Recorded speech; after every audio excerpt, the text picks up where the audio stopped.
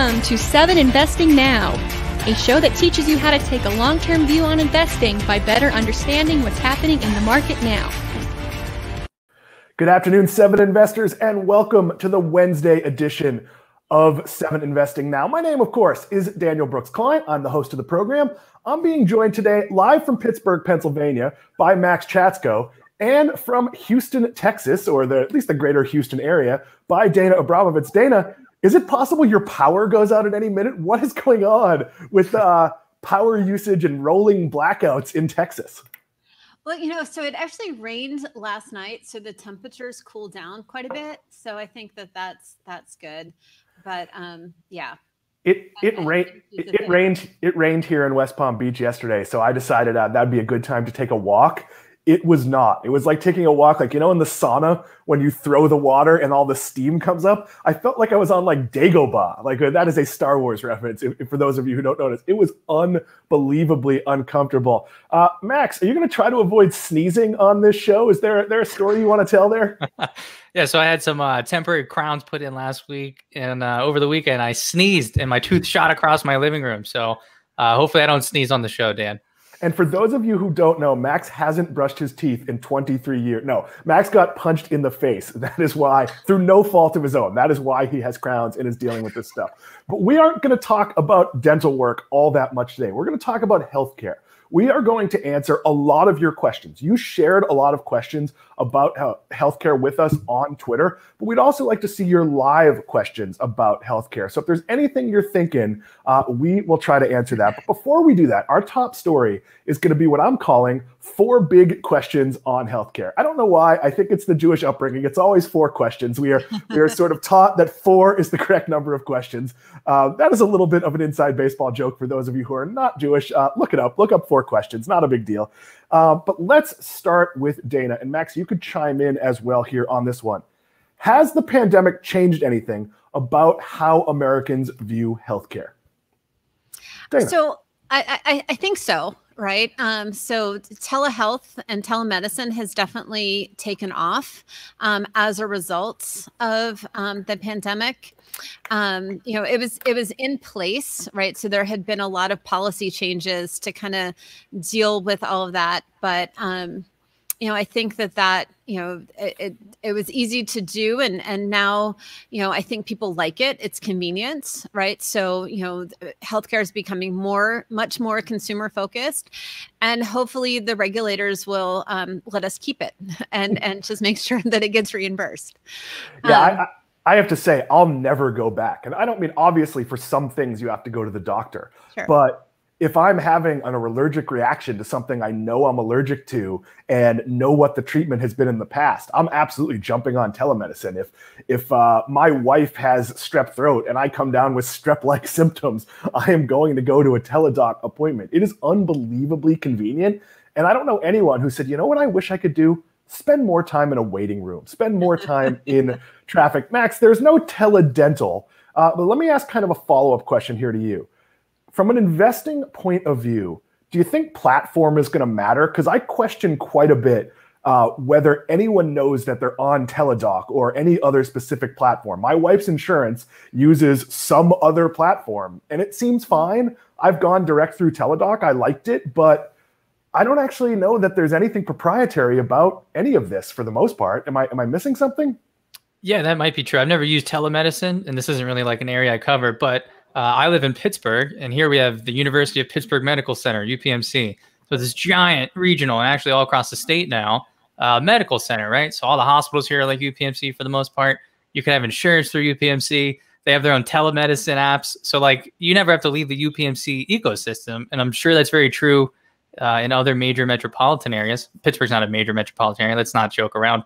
Um, but um, so yeah, maybe it, it, seems more like a almost a commodity, really, right? Like it comes down to like relationships and, and connections to uh, to doctors and things.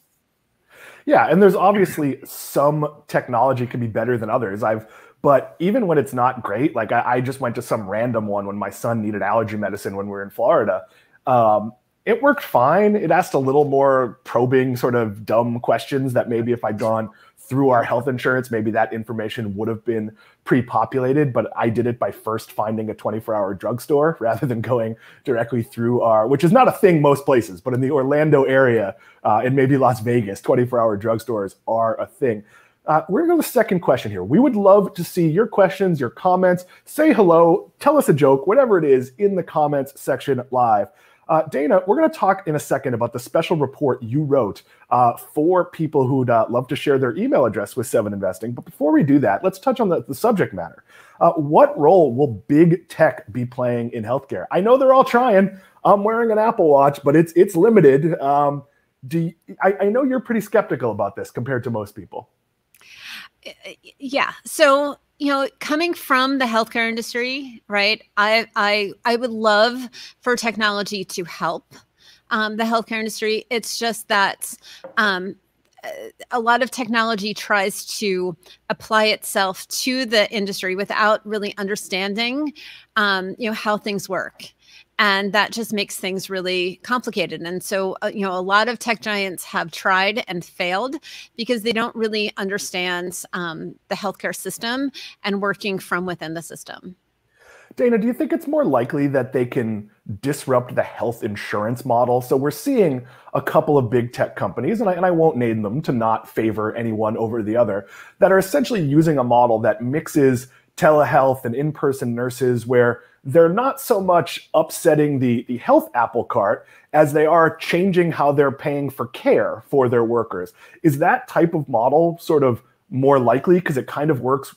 adjacent to the uh, existing system? It, it all it all has to work together right i mean it, it, it, really does right because you know i mean if you go a, a hospital has hundreds of workers and their job is just to no, negotiate insurance contracts like hundreds of people in their finance department just to negotiate those contracts. So until all of that changes, right? So insurance has to change, the healthcare system has to change. Um, it, it, everybody needs to work together, and that's why it's not just one hammer to you know hammer on on this particular nail. You really need to understand the system and and work through the the whole web, uh, intricate web that it is. Yeah, I actually think we're seeing this a number of different ways. I actually have a friend who, not a friend, but someone I went to high school with that I know a little bit, uh, who started his own, I don't know what you call it, like healthcare club. He's a doctor. You pay a monthly fee to him, and he'll provide all the services you he can provide, but only up to a point. So that works in this model where a lot of people have very high deductibles and their standard for being willing to go to a hospital is pretty high. So joining something like that, and that's sort of where I see the big tech disruption. Max, don't feel you have to have an opinion here, but is there anything you want to add here?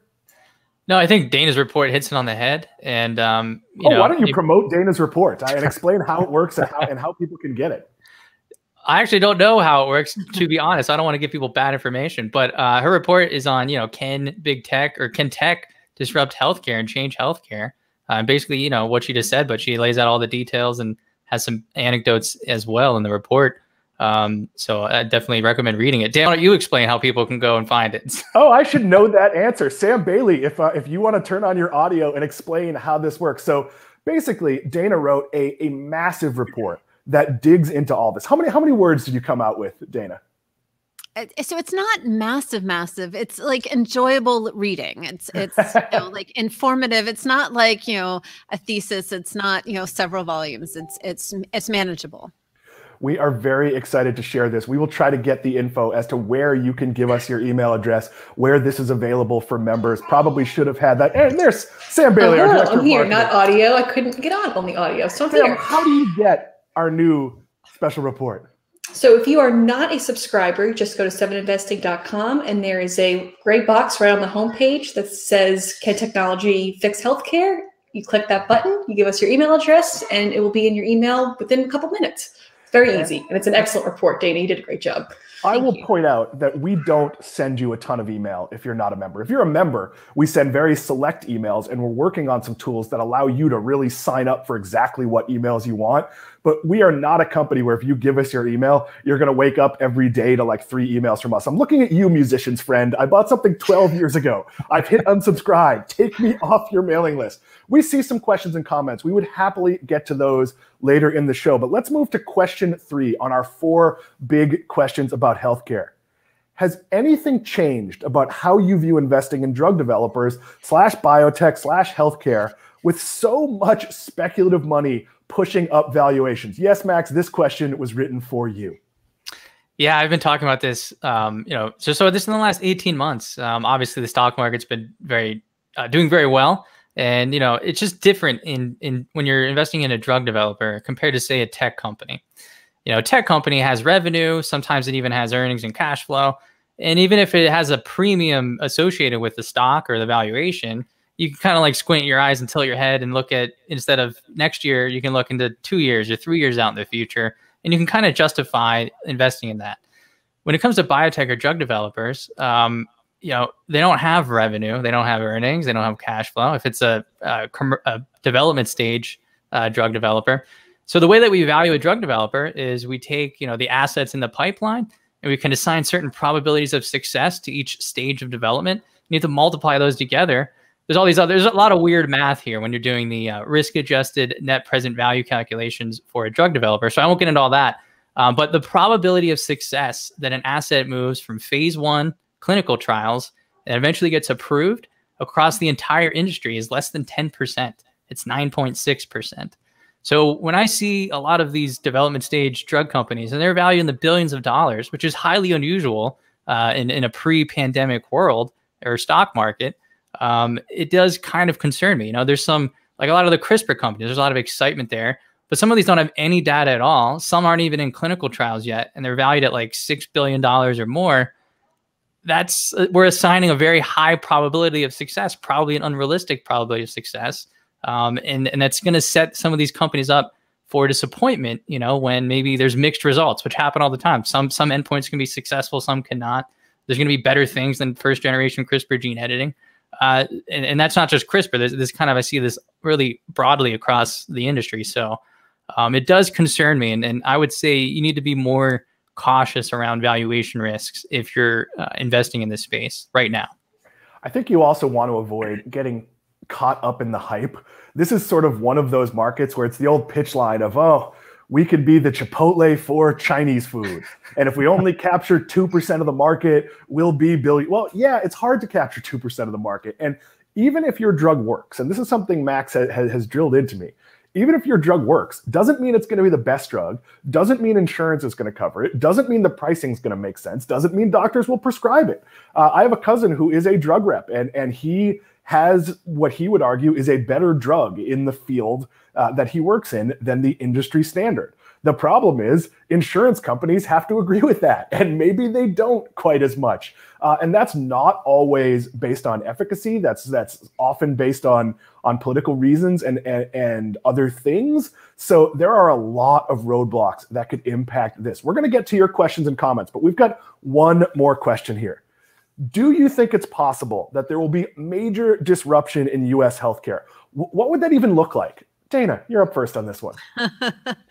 um, yeah, no, it's it's it's uh, that that's a tough one, and you know you'd you'd like to see um, that disruption, um, but you know a, a lot of things um, play a part in that.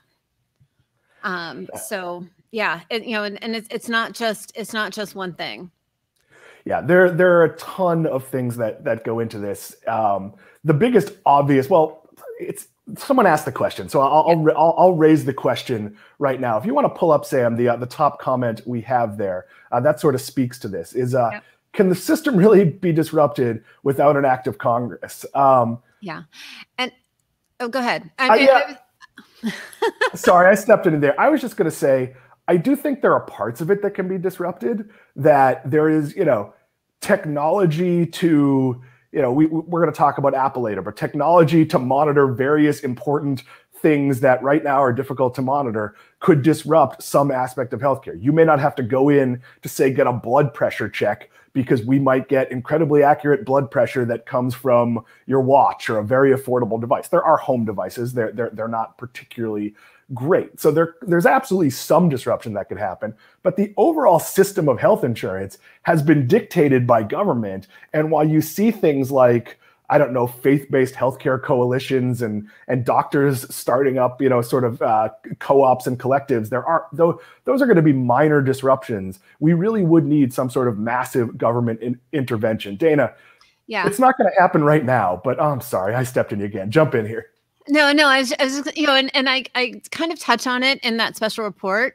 Um, and you know, uh, you know, part of the problem is you know a lot of the reimbursement, you know, uh, like all the FDA, you know, CMS, so the Center for Medicare and Medicaid Services, right? So they do all the reimbursement, um, and a lot of the things that they do are dictated um, or, or you know carried out by all the private insurers. Um, and you know, we can't have um, you know, like one administration, you know, every four years, we can't cycle through you know something else because we have a different administration and you know we have different people in congress that are, are setting the standards. So it does it needs to you know become this long-term thing because the hospital systems are not going to change their practice every four years. I mean, that's, you know, we had that, right? They refused to make changes because they knew that it was going to change, right? And it's too much work for them to, you know, re-steer the ship into something else, um, only to change it back. I mean, they can't, they can't do that. Healthcare is not that agile. Um, they they just don't take risk and um, they don't change quickly. So we need some thing that's going to be um, steady so that that change can be adopted. Max, I'll give you the last word here. Yeah, it's very complex, right? It's like one of these problems that we didn't do anything about for too long. And now it's this big, hairy, complicated thing. And there's no really easy solution. And I think there's going to have to be multiple solutions to different problems within, you know, this big, giant black box that is American healthcare. But uh, there's a lot of things that could change. Um, you know, there's too many, too much abstraction, whether it's insurance or payments, or I go to the hospital and then I go to another one three blocks away and it costs 3x difference for some reason. It's the same procedure. It just, a lot of it doesn't make sense. It's unnecessarily complicated. I, I don't even know. No, I'm not going to comment. There's no way to comment on this without being political. I, I, I'll just say that I think the biggest issue is there has to be a will there has to be an, an actual desire to do things differently and I think that that starts with the notion of does everyone deserve health care? And that's something we, whatever your politics are, we have not been able to agree on as a country. And that's where disruption would come from. I am coming close to a line. So, Dana, if you wanted to weigh uh, in, so go ahead. I, I, I, I, just wanted to add that, you know, I, I think that a lot of the new med or some of the new medical schools or a lot of the doctors that are coming through the, the, the medical school pipeline now um, are you know starting to incorporate um, you know technology um, this disruptive thinking. Um, and so i think that you know uh, the the next you know the new generations of physicians um, are going to to make these changes.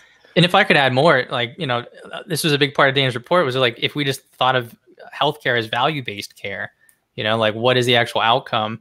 And is that is that resulting in value for the patient or the healthcare system? Like that's what you should get paid based on that, not mm-hmm. just because insurance will cover it. Um, and maybe additionally, you know, we should focus more on our lifestyles and, and little changes we can all make. Um, we have this like drug first mentality here in, in the United States. Um, so, like type 2 diabetes, for instance, you can reverse type 2 diabetes uh, with diet and exercise changes. It's a lifestyle disease, it doesn't exist otherwise. Um, but we want to give you insulin, or now there's companies developing all these crazy complicated antibodies that are going to cost tens of thousands of dollars a year and like you could you could fix that problem yourself but we don't have a healthcare system that encourages that yeah you can make meaningful changes and and, and i'll and i'll lean on max and uh, dana join us later but the the pandemic made me somewhat sedentary. I was still seeing my trainer outside, but the workouts weren't as useful. Uh, so that was just maintaining at best on a strength basis. And after a while, I wasn't walking to Starbucks and getting my, my 10,000 steps in. And I'd sort of plateaued on walking anyway because I wasn't pushing myself. So, you know, about, I don't know what it is, six, seven months ago, I started making a very concerted effort to do things like monitor my heart rate and make sure I'm getting enough movement every day at a high rate. And, and I'll say, we're going to talk about the Apple Watch later. My Apple Watch, as I've gotten more fit, has raised the standards of what it considers exercise. So, yes, I might get a minute of exercise if I walk up two flights of stairs. I have two 18 step staircases in my house. That that is absolutely, you know, exercise. Your heart rate goes way up. But when I go take a walk, until I've pushed my heart rate to a certain level, which now takes longer, maybe the first 10, 12 minutes of my walk isn't going to, to actually be exercise. It's movement, that's great, but it, it, it doesn't count. So it's a raising bar. And I put in a real solid effort to like, what, what food choices can I make that, that are not that disruptive, but are subtly different? And we've talked about this, Max, that I'm only eating red meat once a week. I'm trying to eat, you know, more fish and more things that I like that are just frankly a little harder to cook uh, you know, and, a little more, more, you know, yeah, you can buy a steak and have it sit around for two or three days. You don't want to do that with shrimp or, or, or salmon. So, you know, I, I've been spending more money on that sort of thing, but sort of looking at myself as an investment. And there have been absolutely tangible benefits in in things that even I can measure, uh, you know, in terms of, of, blood pressure and heart rate and all that type of thing. We would love your questions and comments. Uh, there's one in there from uh, from Gareth Simons. Uh, Gareth, if you want to provide a little more explanation or send us an email at info at 7investing.com, I'm not sure we understand what you're looking for there. Uh, and we would appreciate any questions you have. You can also ask some general investing ones. We'll get to those if you like. But let before we hit our vast array of questions you shared with us on Twitter. And thank you for doing that. Um, let's share a little bit about what happens on Friday. If you're a member of Seven Investing, first of all, if you're a new member, at 10 a.m., we host our new member call. During the new member call, we walk you through how the service works. We walk you through even how to buy a stock, sort of some basic philosophy points. Um, you know, I'm going to share share recipe. No, we're not going to do that, but we are going to tell you everything you need to know about the service. Then at 11 o'clock, we are going to do our members call. This is a free for all where we're going to update our most recent picks. We're going to update some picks we really want to talk about. Uh, and then we're going to take your questions. And that's a forum where you can ask us about things that are seven investing recommendations. And we don't actively talk about that kind of thing here on seven investing now. Then at 12:30, we will have a special 7 investing now with most if not all members of the team. Uh, probably all of us uh, except Anirban and sometimes Dana has to come in and out for other reasons, but we'll get as many people on as we can. After that, in the afternoon, we record our, our videos uh, for, for the pitches you see when, when our new picks come out. So it is a very busy Friday. And if you want to be able to access all of that, uh, the, the new member call, the subscriber call, if you want to access those things, you have to be a member. And the added benefit, if you go to 7investing.com slash subscribe of joining now, is right now through July 7th, our price is $17 a month or $170 a year. On July 8th, our price goes to $49 a month or $399 a year. But if you sign up before July 7th, you get the old pricing, the, the original pricing locked in forever. So when when Maxx Chatsko's head in a jar is doing this show in 2135, you will still be paying $17 a month, which with inflation, that would probably be a really, really good deal, even if the Fed keeps inflation in check for the next hundred and whatever years that would be let's pivot into taking a bunch of your questions. I'm excited for this segment. I was surprised at how much uh, Twitter reaction we got yesterday. The summer's been a little bit weird and slow in terms of some of the interactive parts here. But let's take the first question from Ray Al. If you want to share that one, Sam Bailey. Uh, I can't get myself to invest in any of the biotech stocks because I don't understand them as well as high growth tech stocks. I do see the need to diversify into high growth biotech. Would an ETF serve better? Maxx Chatsko, I know you want to answer this one. Yeah, so I think the answer is simple, Rayal. Um, you don't need to diversify into areas that you don't know and understand, right? Just stick to what you know. It's kind of what investing is all about. Um, so I have the opposite quote problem as you. I don't actually understand tech. I don't know what metrics matter. I don't know what the valuations mean. I don't understand the competitive landscape. So I don't own any tech stocks. I'm pretty much I'm pr- very heavily invested in drug developers, and I own some energy stocks as well. Um, so you don't have to. You said you you know the need to diversify. There's no need to diversify into other areas. Um, you can diversify within the areas you know. I mean, we say tech stocks. That's pretty broad, right? There's cloud. There's uh, uh, software as a service. There's all kinds of crazy things like little industries if you want to get into all the nuance of it and drug development's the same way. So um, it can be you can get into more trouble if you feel the need to diversify into areas you don't understand. So, Max, I'll jump in that I don't think there's a need to diversify, but if you are a seven investing member, which I believe Rayal is, uh, I would look at if you want to have exposure to other spaces. I trust Max. I buy all of Max's recommendations. I've bought some of Dana's recommendations. Uh, hasn't been here that long, so there aren't that many recommendations. Um, you know, so I think if you want exposure to other things, taking the word of someone you trust and putting a little investment across their their two or three highest conviction stocks which we talk about in the member calls. I don't think that's a bad idea. I've purchased some things that i don't fully understand simply because i watched steve symington or simon erickson be so passionate about it. And you know that doesn't come up as much with matt cochrane because our, our our interests overlap. But if there's something that like i just sort of liked and he really likes it I might take a deeper look. I've kind of stopped having a number on my portfolio. Like my own personal picks, I might limit that to, to, to whatever the number is I consider I can actively track and manage. Uh, even that's easier to do for me because it's my job to track and manage stocks so i can put more time in than other people but i own a bunch of things like like you know max you know asked me a question about a stock and i had to look if i to see if i owned it. Uh, and the answer is i did because because at some point it was it was something he picked. You don't have to understand why you own every stock. Now you could understand it by reading max's report or you could just say, this is a person who knows this space. I'd like 5% of my portfolio to have exposure to that space because I, I think, in a broad sense, there's upside there. You can understand that there's going to be big growth in biotech without understanding which companies are the best ones. Let us continue and move on here. Uh, we will take the next one from Surin, uh, if you want to throw that one up, Sam. Uh, what's the outlook like for other Alzheimer's drugs in development? Biogen was a was a good long, but given the backlash and high-ranking FDA, officials uh, resigning, what's the view on the other companies? Yeah, the Biogen was very confusing. This feels to me like maybe they shouldn't have approved it. Uh, and I know the actual language was was stricter, but uh, Max, I'll go to you, and I promise, Dana, we'll get back to you soon. Um, yeah. So just with the Biogen stuff, um, you know, so the uh, FDA uh, gave it a conditional approval, so the company still has to run a confirmatory trial. Some people criticize the timeline; it has until like 2090 to run that trial or whatever.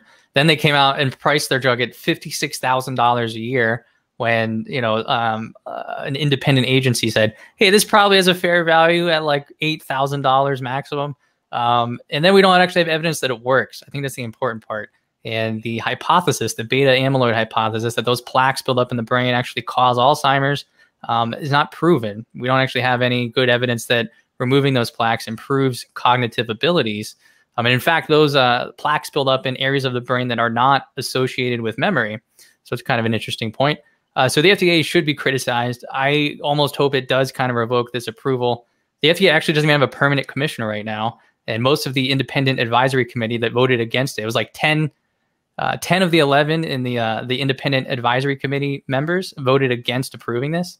Um, the other person abstained or was uncertain, I think was their vote. So like overwhelmingly, they said don't approve this. The FDA said no, we're going to approve it, and now they're in this uh, you know you know what storm here. So, uh, but Dana, I mean, what is uh you know where are we with Alzheimer's and the FDA and and you know what, give us a little bit of background. Yeah, well, uh, so Alzheimer's is is a really difficult um, disease to you know to understand and and you're right you know so targeting the those amyloid plaques um you know it's just a hypothesis that that's actually going to um you know fix it. So you know it's it's really hard to know and it's it's hard to you know test and really understand the disease so that's kind of problematic as well right? Because you Dana you know, is like fading in and out of the brain, and um, you know, Oh, sorry. Uh, no, I think it's your internet connection, which we've all okay. which we've all fallen victim to at different points. Uh, finally, I, I, I now have fiber here, so when I'm at home, my internet connection is good. But as you all know, I'm going to be on the road quite a bit, so this is something that's going to happen to all of us. So let, let me explain this, and Max, jump in if I'm wrong. Basically, what this drug does is it's shown that it can reverse some of the plaques uh, on the brain, which might be what causes Alzheimer's. But it is also possible that, yes, it can do that, but the end result isn't fixing Alzheimer's. So it, just because what these things might relate be related, getting rid of it doesn't necessarily lead to an improvement. Is that an accurate way to describe this? And Max appears to be. Yeah, yeah. All right. And this is the most important thing is that the company Biogen doesn't actually have data that the drug works, and it was still approved. Like the trials that were conducted, it wasn't a phase three clinical trial. Uh, they don't have very robust data sets, and the FDA still approved it. So that's also like the very uh, controversial aspect of this because it lessens the standards of the FDA. It suggests that it's not actually safeguarding uh, patients or citizens of the United States. Um, so there's there's this behind the scenes. There was this uh, you know um, nonprofit for Alzheimer's care that kind of like strong armed the FDA into approving it, and we don't want that to happen, right? Because a lot of those are funded by companies like Biogen. Um, so you know we can see the need that like there's patients out there that have nothing there's no treatments right so we want to help them but we also don't want them to pay crazy amounts of money for something that doesn't actually work right that's the most important part um, so with the price that biogen set uh, most patients all patients will have to spend over $10000 every year out of pocket and it might not even work i mean that's unacceptable i think that's not the healthcare system uh, that i want to live within Max, could this been could this have been handled with a, a compassionate care uh, exception? Like, are, aren't they allowed to, if if your prognosis is bleak, let you try things that might not work? I, I know I have an uncle in a in a prostate cancer uh, treatment like that, where it's worked really effectively for him, but has not worked for most people in the trial. I don't I don't know. Maybe Dana can weigh in there, but with Alzheimer's affects six million individuals, so it's it's a much larger than like a. Usually we do that for like rare diseases where there's mm-hmm. really nothing you can do. And we can at least manage Alzheimer's, um, not like cancers or things that are maybe more fatal, right? Uh, Dana, I don't know how that works with compassionate use. Yeah. Well, so I, th- I think you're right that it is, um, and can you hear me? Um, mm-hmm. It is more, um, you know, just uh, like a, la- a last effort you know and and it's possible that that's why they went ahead and proved it that there was a lot of advocacy um, by patient groups to you know give them something um, but you know that um, you know the the something is still not known right? So um and and expecting people to pay that that price point for it i'm just i agree with max it's just kind of crazy yeah, at that price, it should come with a two-bedroom apartment in Manhattan. Like, what is what is going on there? We're going to take Rob question, Rob's question next. We appreciate uh, the questions you are asking in the queue. If if we ignore something, it's either because we don't know the company or we don't have like really a direct way to answer. Of course, the ones we got from Twitter, we have a little bit more time uh, to research and figure it out. So we appreciate those of you watching at home and playing along.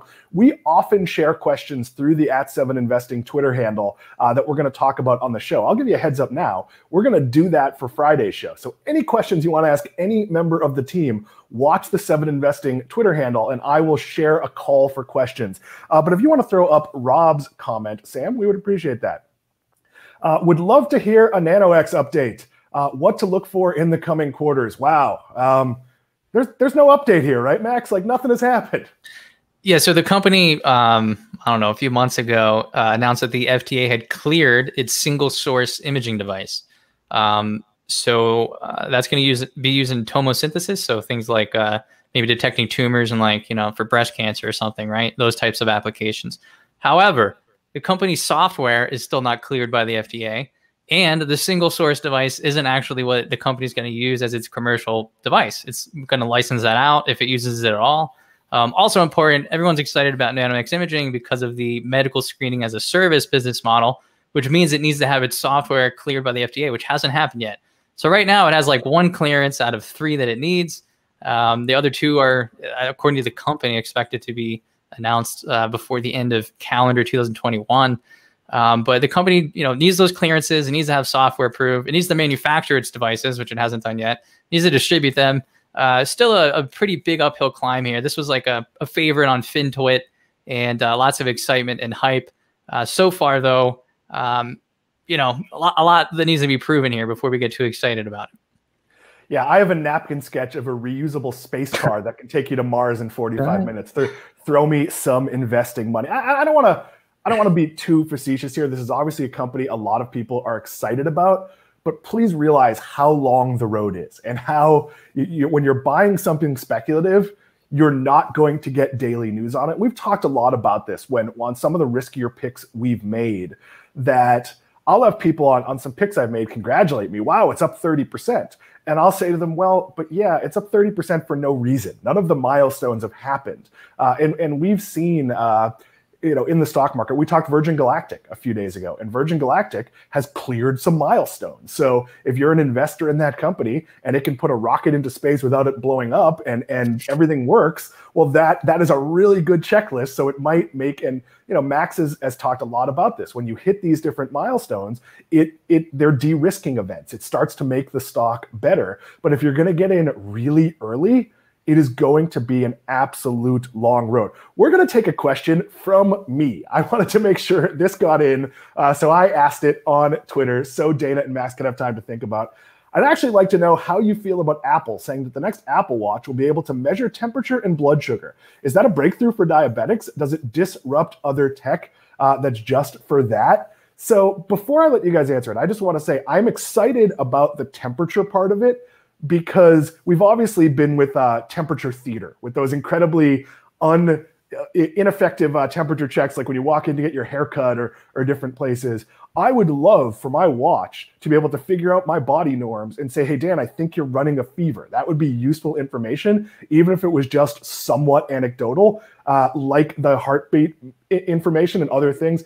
But Dana, it is a very big leap to go from that to being doing something like like testing blood sugar, right? Yes, absolutely. Um, and you know, it's not new technology, right? There are many companies that have been trying to to measure um, blood sugar without a finger stick. Um, it's really hard right and you know it's it's interesting um you know if, if apple does this right it, is it a novelty right is it just you know interesting piece of information or does it become a medical device and if it becomes a medical device then it actually needs to be regulated like a medical device and i'm not sure if that's something that apple is you know really thinking about and and stepping into I, I think they're thinking about it. I don't think the first iteration of this is going to have it. And there might be, and I, I don't know. I am not a doctor. I have zero training in this space but there might be some beneficial reasons uh, to know my blood sugar heading into a workout. There, there might be some some things like the way I track my heart rate uh, for you know being in the right exercise zone. There might be some things that are way a step below uh, using it to track. But I do think five years from now, ten years from now, whatever it is, Apple does want this to be a medical device, and they will probably figure out how to go through the, those clearances. Um, Max, do you have any thoughts on this one? Do, do you wear a smartwatch or or a watch or or one of those clocks around your neck like Flavor Flav? How do you tell time, Max? I have a sundial in my backyard, and um, so that's that works pretty well most of the time. Um, no, for Apple Watch, I mean, what Dana said, you're right? If, if this is regulated as a medical device, it needs a lot more data and a lot more people and I think there's going to be higher levels of scrutiny because how many people have an Apple Watch or would buy one? And the FDA doesn't want, you know, tens of millions of people walking around getting bad data on their heart rate or temperature or glucose levels and then uh, taking health into their own hands or something, you know? Uh, injecting sugar cubes into their their veins or I don't know like so don't do that even if you have accurate information that's something a doctor should handle so yeah um, this is a good example I mean I, I can see maybe it's coming uh, eventually. Like wearables will get better, but um, I think we also have to be uh, skeptical of the data that can be collected. Right? There's a reason that the standard of care is taking a blood sample. Right? Um, we can't really do that with like sweat net right now uh, or other things. So it's going to be more difficult to get the same level of data that we can trust. Uh, that isn't going to vary based on you know the time of the day or where you're living in the world or whatever. Right? There's all these different things that come into play or or even you know how tightly you adjust the wristbands right? I mean you know you, you know i mean it, it could be all sorts of different things. And in order for um, them to you know get that clearance um, you know so i would assume they'd go through a 510k process. So basically showing that their device works um, as well or better than that standard, um, which is, you know, like getting that, you know, th- that drop of blood and testing it. Um, and until they can do that, you know, and, and like I said, there have been other technologies, other companies that have tried, um, you know, the contact lens, different um, skin tabs, um, you know, just all sorts of different things. It's, it's hard to do. It's hard to beat the standard. Yeah, and I, I actually so like this is still far off, but I saw an academic paper earlier this year where uh, they had a micro needle patch. Sounds scary, Dan, but you actually don't really feel it. It feels kind of like yeah, Velcro. yeah, wasn't wasn't that in the Saw movie? Like, do they put it on your eye? Like, that sounds terrifying. But okay, I'll take your word. It feels it. it feels more like a Velcro patch on your skin, but they can design it where it kind of punctures into the right layers of skin, uh, and it it samples uh, different. Uh, well, it sounds gross, but like liquids in, in like certain layers of fat and skin and that actually does have important biomarkers. I don't know if we can do like blood sugar necessarily, but uh, it could be used to diagnose other diseases, skin conditions, uh, maybe other things aren't not we don't think and associate with skin conditions. So I could see that maybe being very well, uh, you know, positioned for the form factor of a wearable. Uh, but again, that's an academic paper, so right now it's more like a lab trick. Even if the headlines make it seem like it's coming, you know, next month, uh, it's probably many years away if it works at all. But something like that, like we might see some newer technologies evolve um, and then that works well with wearables. Maybe Apple could invest in that with all of its money. I don't know. It's also a giant leap to go from actionable helpful information on let's call it athletic performance or or functioning so i wore a fitbit for years and the fitbit tracks your sleep and I found it very useful to see, you know, was it was I getting the different stages of sleep, uh, and mentally, and again, this could be a placebo effect. If it said I had a good night's sleep, it was generally a day I, I felt better, and it seemed to me like it was doing a pretty accurate job. There were a couple of three day weekend cruise trips, Max, where I wore it, where like you'd wake up and you'd be like, I got 98 minutes of sleep and none of it was good. Like, yeah, that that's about how I feel th- this morning. So I think you're going to see increased things. We, have already talked about that there's patches that can measure whether you're hydrated. Uh, again, put out by Gatorade. So I, am not sure that's the one I would I would count on. But I think that technology from a a baseline, even like high school or amateur athlete level, uh, is going to be good because you don't need intense information like to you know you, th- there are sort of easy ways to do that to go to an actual medical device Again, I think there'll be acquisitions. I think Apple wants to do it, but I don't think they're promising that anytime soon. We appreciate how many of you weighed in, jumped in. There's a couple of questions and comments here uh, uh, that we appreciate. Uh, we're not going to grab them. The person who would give money for my napkin sketch, uh, uh, that is Robert Ben Orr. I appreciate that. Uh, I've already gone public via SPAC. It, it only takes like a couple of hours now. No, that is a joke. But I will say that when you're investing in some of these SPACs, make sure it's not a joke because some of these companies are. There's a lot of really bad ideas. Like I'm a lifelong media person, and the idea of rolling up a bunch of barely profitable, if not unprofitable media companies and buying them time by by putting them in a SPAC, that's a terrible idea as an investor. That is a great idea if you're say BuzzFeed. That is not, or the athletic or other places where that are going to have very high expenses and very slim margins. And yes, maybe they could use that money to to, to automate backends and, and do some things that make them somewhat profitable. But there's certain fields that you're just never going to turn into cash cows. Be very wary when you're buying these companies that are taking shortcuts to go public. Not saying that a SPAC is inherently bad, but as someone who knows the media industry, when you'd be very lucky to make a, an 8 to 10% profit in a year, given that creating content is expensive, um, I would be super duper. Well, there's even like well-known companies that are going public with SPACs that I would still be questioning. Like, uh, uh be I would question because um, you can project different things in in a SPAC filing than a, a, traditional IPO filing with the SEC.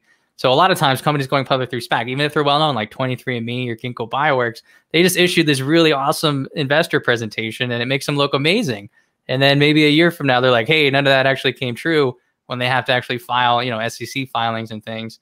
Uh, so I would, I, I, personally do not invest in any SPACs. I wait for them to have, uh, you know, proper 10Q filings and 10K filings. Uh, I want to see the actual numbers and see them discuss their business before jumping in. I, I have exactly the same philosophy. It is important to point out that that is not true of every member of the seven investing team. I would also say it wouldn't be true in my case if it was a company I knew really well on a private basis. So there are some companies that are private that that that have a lot of disclosures that tell you a lot of information, or maybe you worked there or or whatever it is. So I'm not saying I would never make an exception, but it is very easy for, and I hate to pick on DraftKings, but I think this is one that a lot of people bought sight unseen as a SPAC. Um, and say, well, the total addressable market is this. If if gambling was fully legalized, all of this illegal gambling would, would enter this market. And I think that ignores the competition. It actually ignores that we've seen in cannabis, just because cannabis is legal a lot of places doesn't mean illegal cannabis has gone away because in a lot of places it's decriminalized. So it's sort of quasi legal. Um, so I don't think that all these billions of dollars like being bet in like office pools. It's not bookies for the most part. It's people doing like you know you know March Madness pools with their friends and coworkers. That's not all of a sudden going to go to Caesars or Wynn or, or DraftKings or whatever else it is. It's really easy to make the size of a market sound great, but we've gone totally off the rails. I appreciate Max and Dana being here to talk about healthcare and so many of you weighing in. Uh, I'm pretty sure Dana has to teach a class. So I'm going to say, Sam Bailey, let's bring up our finisher. Which industry do you think is in the most need of disruption? Max, I'm going to sneeze, so I'm going to let you go first.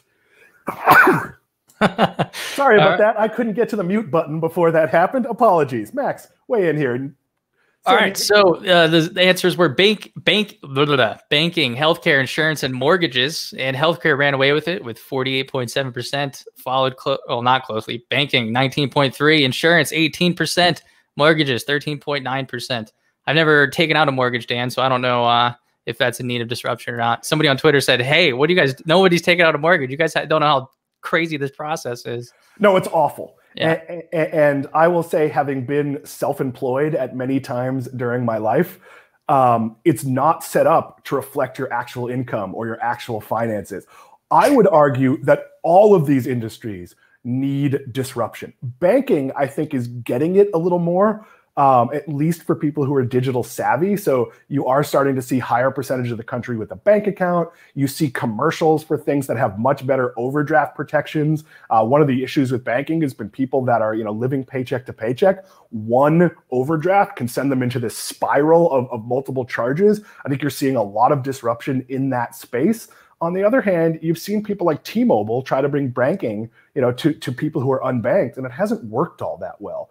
Uh, mortgages, I'd argue nobody has has disrupted it in any way that that you know say like Rocket Mortgage. Yes, if you work for like a big employer, it might uh, automate some of the document process of pulling in you know your pay stubs and things like that. But nobody has said Dan has paid a mortgage since he was 22 we have given him that mortgage. Nothing has changed. He's never missed a payment. We are funding that mortgage, so we're not selling it to a government agency, which which triggers all sorts of regulation.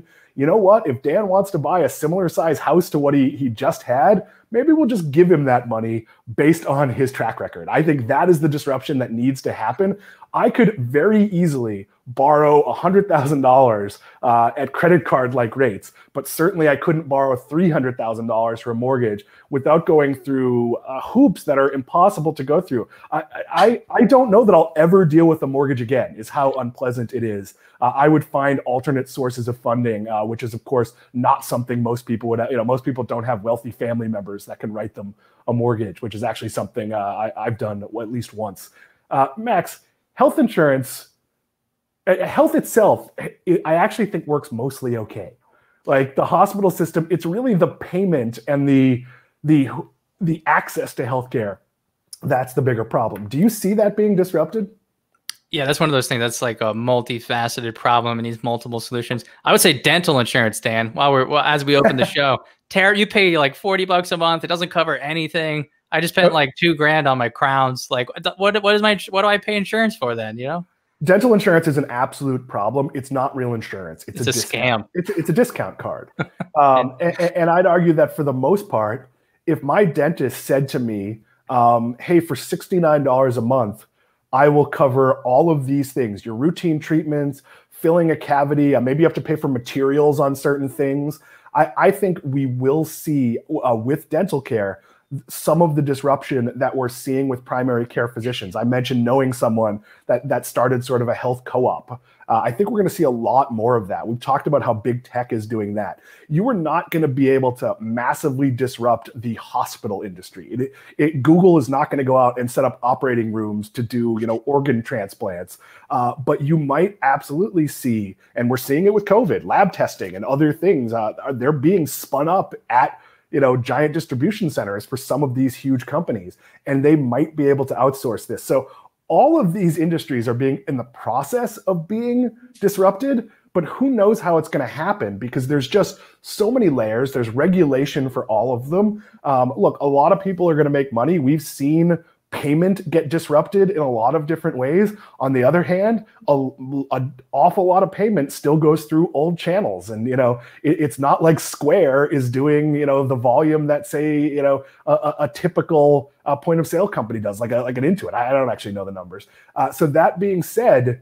I think we're going to see a lot more of this. We appreciate all of you being along for our healthcare show. We're going to be back Friday with a full team or most of the team show. Anirban probably won't be up yet, but you never know. He could be. He sleeps very strange hours.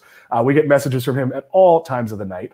Um, that being said, if you want to get in touch with us, it is info at 7investing.com. That is questions about our service, questions about your membership, uh, you know, really anything related to Seven Investing. If you'd like to interact with us, that's at Seven Investing on Twitter.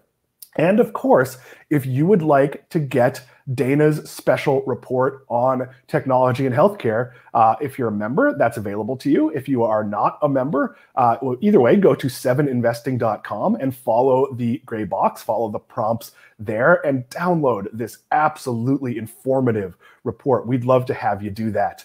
Um, Max, am I forgetting anything? Is there anything I'm missing? No, fabulous job, Dan, as always. That is all. We will see you Friday. Thank you, Sam Bailey. Thank you, Maxx Chatsko. Thank you, Dana Abramowitz. Bye.